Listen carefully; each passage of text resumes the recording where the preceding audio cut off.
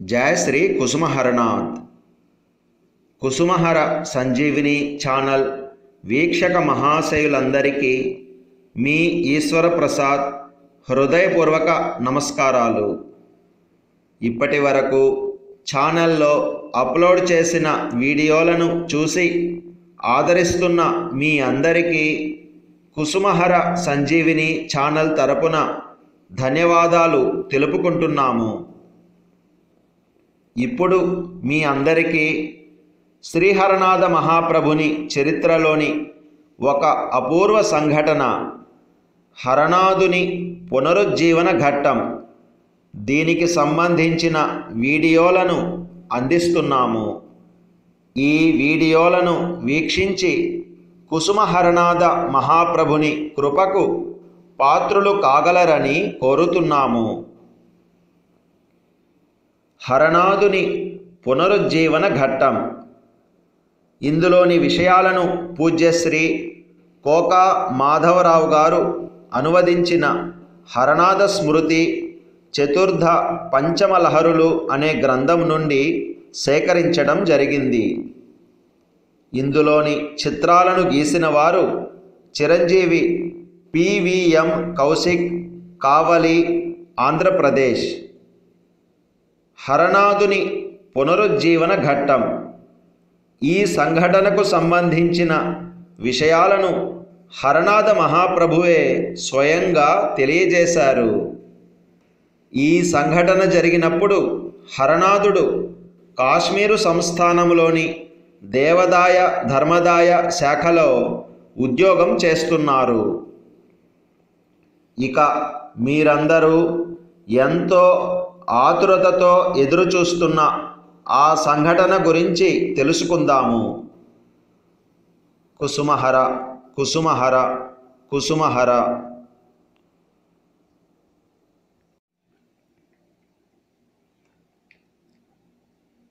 ఠాకూర్ హేతంపూర్లో ఉన్నప్పుడే హేతంపూర్ రాజావారి మేనేజర్ గారైన హరిబాబు గారు ఒక రోజున క్రీస్తు శకము పంతొమ్మిది వందల ఏడవ సంవత్సరం డిసెంబర్ నెలలో విడుదలైన హిందూ స్పిరిచువల్ మ్యాగజైన్లో మీరు శ్రీనగర్ వెళ్తుండగా మరణానికి గురైనారని చదివాను. ఆ సన్నివేశం జరిగినప్పుడు మరణ సమయంలో వ్యక్తి యొక్క పరిస్థితి ఎలా ఉంటుంది? మరణం తర్వాత ఆత్మ ఎక్కడకు వెళ్తుంది? తెలుసుకోవాలని కుతూహలపడ్డాను అని ఠాకూర్తో ప్రస్తావన తెచ్చారు. ఆ ప్రశ్నను విన్న ఠాకూర్ ప్రక్క మీద పరున్నవారు కాస్త లేచి కూర్చొని వినేవారికి ఆసక్తిదాయకంగా చెప్పటం ప్రారంభించారు. బాబా మీ ప్రశ్నను బట్టి మీరు కృష్ణునకు ప్రియమైన వారని తెలుసుకోగలిగాను. కేవలం భయం మూలంగానే మృత్యువును గురించి మనం ఆలోచన చేయం. ఆ వైపును గురించి అనగా మరణం తర్వాత ఏమి జరుగుతుందోననే పరిస్థితిని గురించి ఏమాత్రము చర్చించం. అలాంటి విషయాలను గురించి ఆలోచించటమే అశుభదాయకమని అది మనకు అవగాహన కాని విషయమనే ఒక భావన మనలో పాతుకొని పోయింది. కేశేషు గృహీత ఇవ మృత్యూనాం. మృత్యువు మనలో ప్రతి ఒక్కరిని సదా జుట్టు పట్టుకొని లాగుతున్నది అనే భావన హృదయాంతరాలంలో రేకెత్తని వారెవ్వరూ ధర్మ మార్గాన నడువలేరు. ఈ ప్రపంచం అనేది కేవలం బాటసారులు విశ్రాంతి తీసుకునే సత్రం వంటిది అనే దృక్పథం కలవారికి మాత్రమే ఈ బాటసారుల సత్రాన్ని ఏ నిమిషంలోనైనా విడిచి వెళ్ళటం తథ్యం అనే దృఢ విశ్వాసం కలవారికి మాత్రమే కృష్ణుని ఆరాధించే అర్హత ఉంటుంది. వారే కృష్ణుని స్వజనులు. హతరాసులో ఉంటున్న అటల్ నుంచి పై చెప్పిన సంఘటనను అనగా నేను శ్రీనగర్కు వెళ్తూ మార్గమధ్యంలో మరణానికి లోనైన విషయం తెలుసుకున్న అమృత బజార్ పత్రికకు అధిపతి అయిన శిశిర్ బాబు ఆ విషయాన్ని గూర్చి తెలుసుకోవాలనే కుతూహలంతో నేను శ్రీనగర్లో ఉండగా నాకు జాబు వ్రాశారు. ఆయన వ్రాయటంలో ఉద్దేశాన్ని గ్రహించి తదనుగుణంగా ఆయనకు సమాధానం వ్రాశాను. జమ్మూ నుండి శ్రీనగర్కు శ్రీనగర్ నుండి జమ్మూకు వెళ్ళమని ఆజ్ఞలు ఇస్తూ ఉంటారు. ఆజ్ఞలు ఇవ్వనిదే ఎవ్వరూ తమ తమ కార్యాలయాలను మార్చరాదు విడిచి వెళ్ళకూడదు. అప్పట్లో మేము జమ్మూలో ఉంటున్నాం. ఉన్నట్లుండి ఒక రోజున శ్రీనగర్కు వెళ్ళమని మాకు ఫర్మానా జారీ అయ్యింది. బండ్లు ఇతర వాహనాలు సిద్ధం చేసుకుంటే ఆజ్ఞ వచ్చిన రెండు మూడు రోజులలో బయలుదేరవలసిందే. నేను ఒంటరిగా ఉంటూ ఉండేవాడిని. నా సామానులు కూడా కేవలం ఫకీరు వానికి ఉండేటంత సామగ్రియే. అందువలన ఆ రోజుననే నేను దివాన్ బహద్దర్ వారికి విన్నవించి శ్రీనగర్కు బయలుదేరాను. జమ్మూ నుండి శ్రీనగర్కు టాంగాలు వెళ్తాయి. కానీ ప్రయాణం అంతా టాంగాలోనే చేయాలంటే పదహారు లేక పదిహేడు రోజులు పడుతుంది. జమ్మూ నుండి శ్రీనగర్కు రావల్పిండి ముర్రే కోహలా బారాముల్లా మీదుగా వెళ్తుండే వాడిని. రావల్పిండి నుండి శ్రీనగర్కు నూట తొంభై ఆరు మైళ్ళు. ప్రయాణానికి ఆరు లేక ఏడు రోజులు పడుతుంది. రావల్పిండి నుండి ముర్రేకు ఒక రోజు రెండవ రోజు కోహలాకు మూడవ రోజున గార్హీకి ఈ మూడవ రోజు ప్రయాణంలో త్రోవ మధ్యన డోమెల్ వద్ద నేను మరణించాను.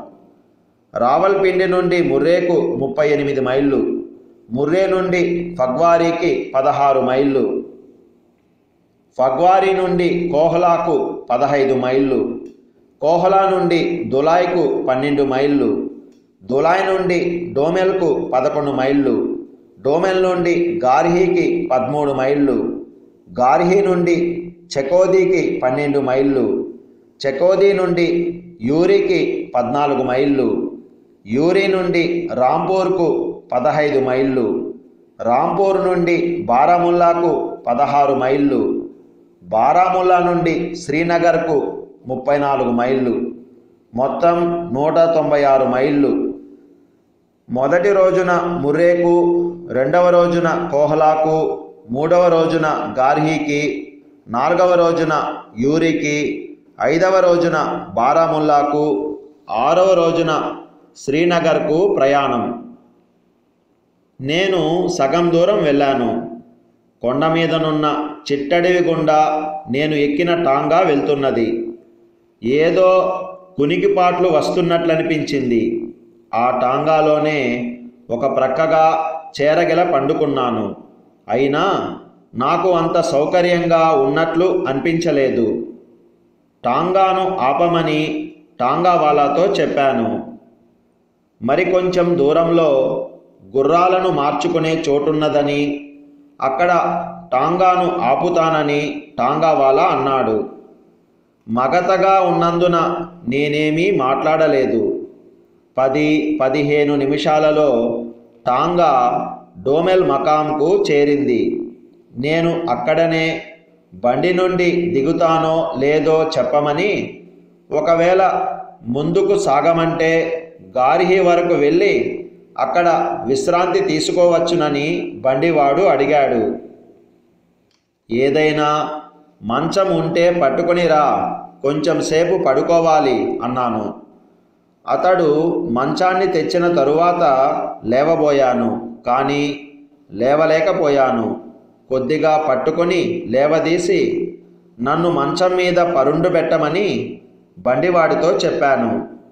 బండివాడు మరి ఒక టాంగావాలా ఆ ఇరువురు చనిపోయే మనిషిని వంగదేశపు ఆచారం ప్రకారం సగం వరకు నీటిలో ముంచేందుకోసమై ఎలా లేవదీస్తారో నన్ను కూడా అలాగే లేవదీసి మంచం మీద పరుండబెట్టారు అకస్మాత్తుగా నేను అలా అయిపోవటం గమనించిన వారిద్దరూ భయపడిపోయారు.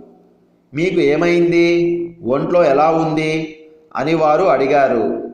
ఆ మాటలు నా చెవులలో పడ్డాయి కానీ సమాధానం చెప్పేందుకు నాకు శక్తి లేదు. నాకు మాట్లాడాలి అని అనిపించినా మాట్లాడలేకపోయాను.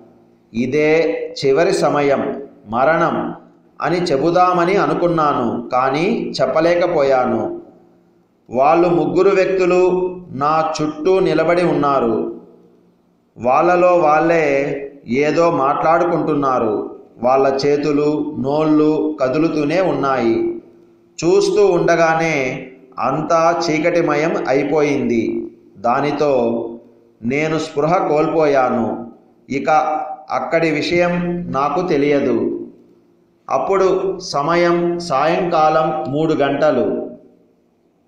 సూర్యుని వెలుగు ఇంకా ఎక్కువగానే ఉంది. నిద్ర పట్టింది కనుక నాకు ఏ విధమైన నొప్పి కానీ బాధ కానీ తెలియలేదు.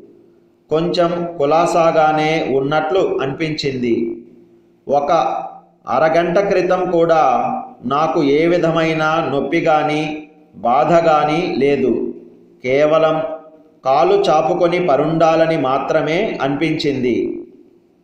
బహుశా నేను బండిలో చనిపోకుండా ఈ కోరికయే అడ్డుకొని ఉండవచ్చు. చనిపోతున్న వ్యక్తి మరెవరినైనా చూడాలని తీవ్రంగా కాంక్షించినట్లయితే ఆ వ్యక్తిని చూచే వరకు ఈ వ్యక్తి ప్రాణంతోనే ఉంటాడు. అంతేకాదు ఆ వ్యక్తిని చూచిన వెంటనే శాశ్వత నిద్రలోనికి జారుకుంటాడు. ఇది కేవలం ఇచ్ఛాశక్తి ద్వారా కూడా జరగవచ్చు. ఇలాంటి సంఘటనలను మనం అనేక పర్యాయాలు గమనిస్తూనే ఉంటాము. కానీ కారణం ఇదమిద్దంగా చెప్పలేం. సంకల్పం అనేది ఎంత శక్తివంతమైనదో మనకు తెలియదు. కనుక ఈ విషయాలన్నీ మనకంత సులభంగా బోధపడవు. నాకు అప్పట్లో సమాధి స్థితి కలిగిందని ఆ సమాధి స్థితి తొలగిపోయిన తరువాత సాధారణ స్పృహ వచ్చిందని శిశిర్ బాబు క్రీస్తు శకం పంతొమ్మిది వందల ఏడు డిసెంబర్ హిందూ స్పిరిచువల్ మ్యాగజైన్లో వ్రాశారు. కానీ అది యథార్థం కాదు. నాకు మహాసమాధి లేక మరణం సిద్ధించినది. ఇక శరీరానికి ఆత్మకు సంబంధం లేదు. అంటే శరీరము దానిలోనున్న ఆత్మ పూర్తిగా విడిపోయాయి. ఈ మరణానికి వెనుక ప్రభునికి ఏదో నిగూఢమైన లక్ష్యము ఉంది. దీర్ఘమైన నిద్ర అనగా సుషుప్తి మహాసమాధి అనగా మరణం రెండు కూడా చూచేందుకు ఒకే మాదిరిగా ఉంటాయి. సుషుప్తి స్థితిలో ఉచ్ఛ్వాస నిశ్వాసాలు సాగుతూనే ఉంటాయి. జ్ఞానేంద్రియాలకు కూడా కొద్దిగా పరిజ్ఞానం శరీరంతో సంబంధం ఉంటుంది. ఇక సమాధి మహాసమాధి స్థితులలో ఉచ్ఛ్వాస నిశ్వాసాలు ఉండవు. జ్ఞానేంద్రియాలు కూడా పనిచేయవు. సమాధి స్థితికి అంతరాయం కలిగితే అనగా సమాధి స్థితి నుండి మేల్కొనటం జరిగితే ఆత్మ తిరిగి శరీరంలోకి వస్తుంది. మరలా ఆత్మకు జ్ఞానేంద్రియాలకు పునఃసంధానం కలుగుతుంది. తక్కిన విషయాలు తరువాతి భాగంలో తెలుసుకుందాం. కుసుమహర కుసుమహర ಕುಸುಮಹರ